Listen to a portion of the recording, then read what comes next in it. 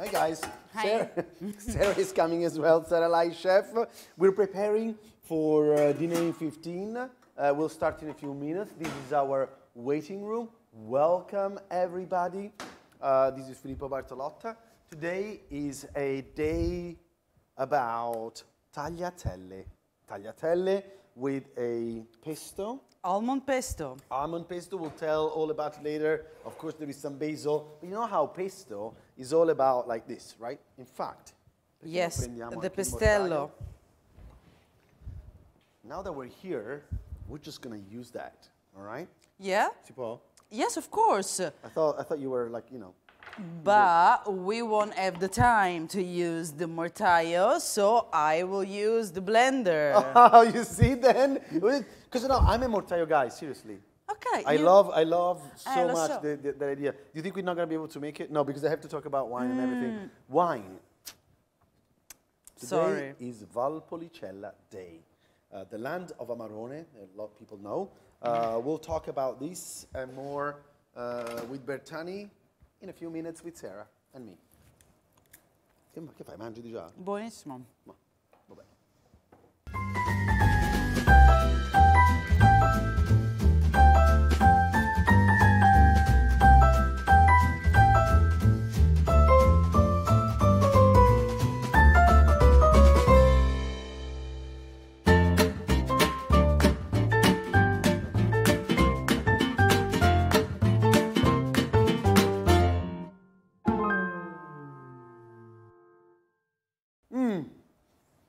Stop eating my almonds. This is Filippo Bartolotta. This is dinner in 15. My mouth is full. I can talk. This is Sara Lai, chef. Welcome everybody. 50 minutes already started. I'm so sorry. Almonds are so good. Pesto with basil. Uh, what is this? Parmigiano. This is Parmigiano, actually, see. Almond. Almond, You'll tell us all about the almonds. A little bit of garlic if you want, right? if you want. A little bit of garlic. Um, pappardelle. So while Sara is preparing the pappardelle, I'll talk about the wine. Tagliatelle. Tagliatelle. What's the difference? The thickness. Okay. The largeness, sorry. Oh, so okay, okay, the width.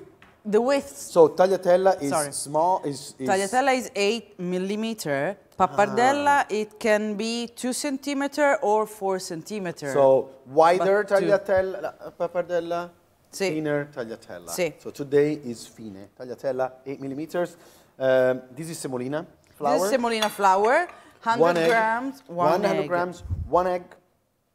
There you go. Pinch, pinch, pinch, pinch. Off you go. By the way, guys, I always, always uh, like to remind everybody that if you are not following because Sara is going too fast or because we talk too much or for whatever reason, you can check all our recipes on our website. Yes. We actually have also a lot of uh, pasta recipes pasta with eggs, without eggs, with the semolina, with double zero flour, like all sorts of things. So don't worry about it. Just as long as you subscribe our channel and you follow our social media, you're gonna be having so much content that you become a professional chef and a som.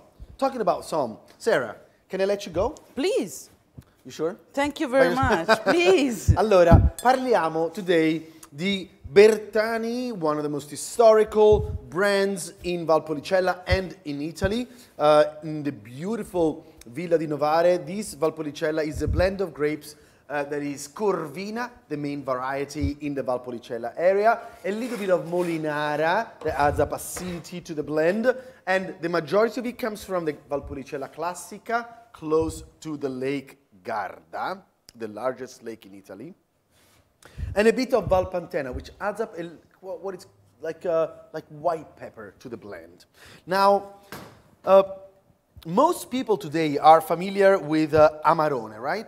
Because Amarone is a big, massive wine. You can check that on our website once again. Uh, Valpolicella for many years was the king of uh, the wines in that area. Uh, where are we? We are in Verona, the city of Romeo and Juliet. And uh, right north of Verona, there is a beautiful amphitheater.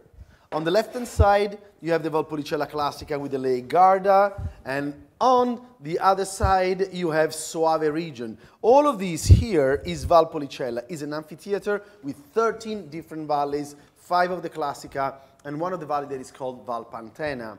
Um, what are the true key factors of Valpolicella? First of all, you are next to the Lake Garda, so that makes the area a very Mediterranean style area.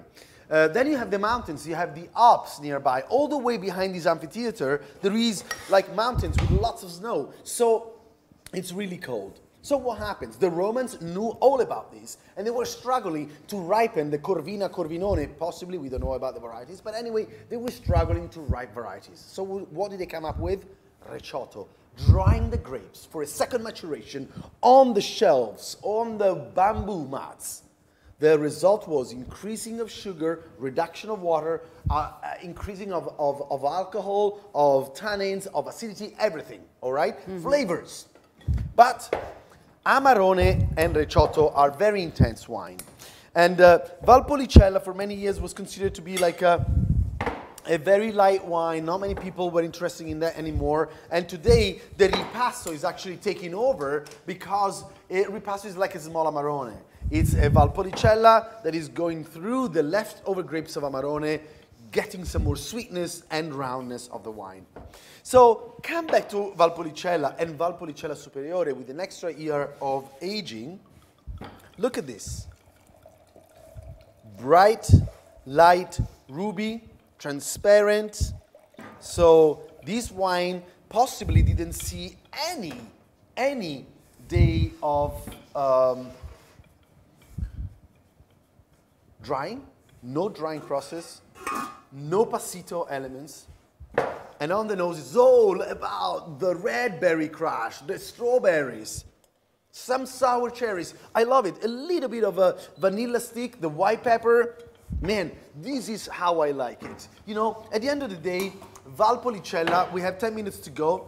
Can you be a little bit less, less noisy? Oh, see. What do you think? We're doing like a cookie class or something?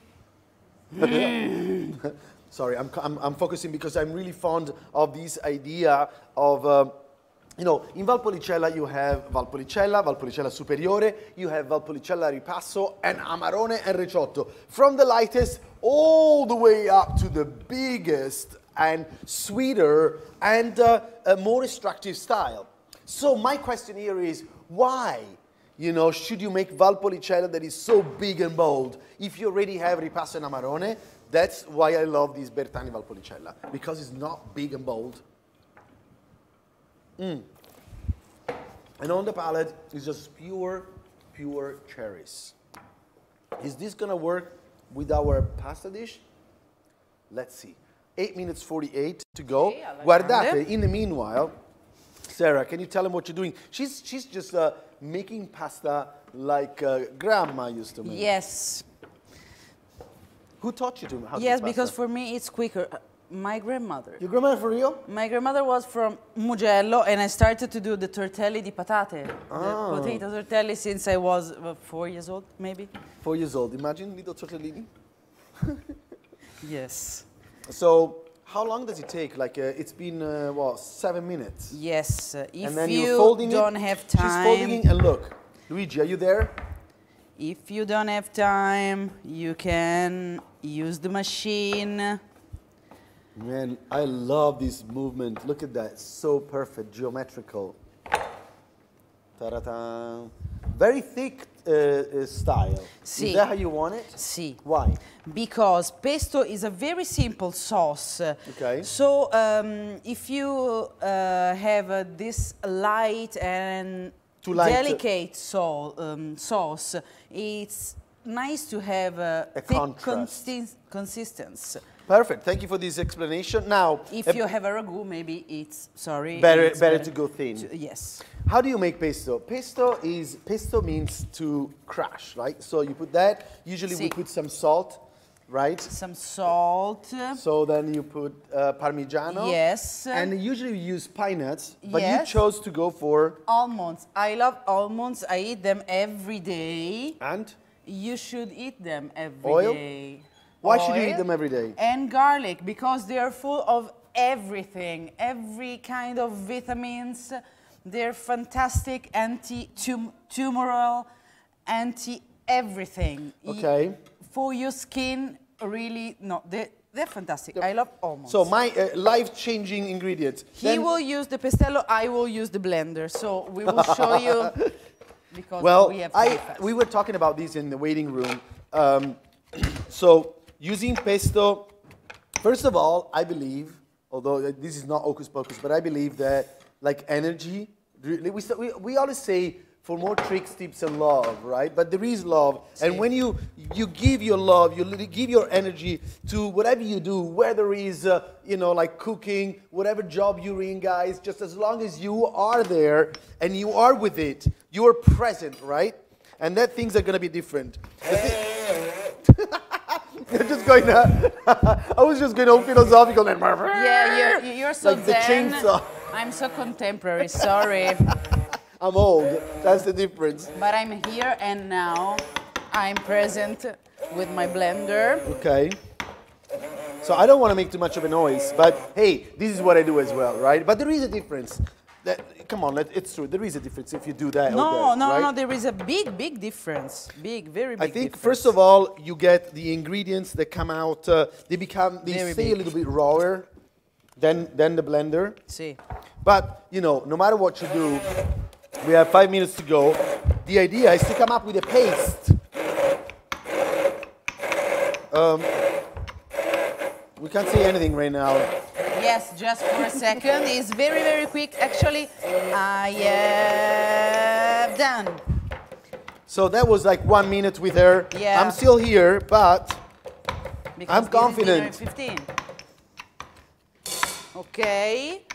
This is the pesto one more thing. I saved some almonds to toast them and to Oh, that decorate. You know, I was a little bit worried for my wine. so I like the idea of toasting. So when you have wine matching, anything that can add up, about when you have red wines and light sauce like this, anything that, anything that can add up umami, uh, sapidity, sourness, that's going to be helping. So toasting is going to add up an extra dimension to the dish. And the same actually is going to do the cheese. Cheese is what's going to help this dish with the wine. Sì. Allora, Sara, four minutes to go. Allora. Che gli dici? Our pesto che... is done.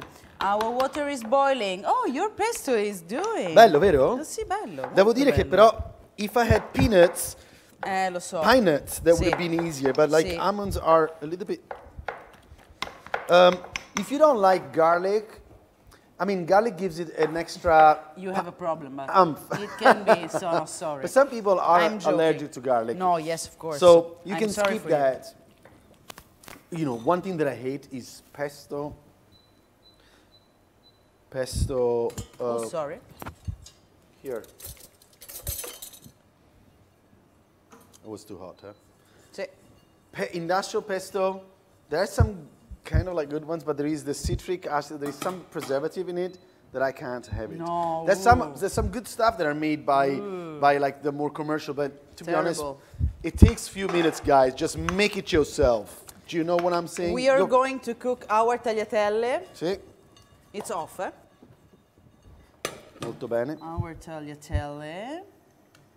So once again, let's remind our friends, when do you get the tagliatelle out? When they come up, because it's a fresh pasta, but you can put the timer, if you are precise, two minutes, they will be cooked.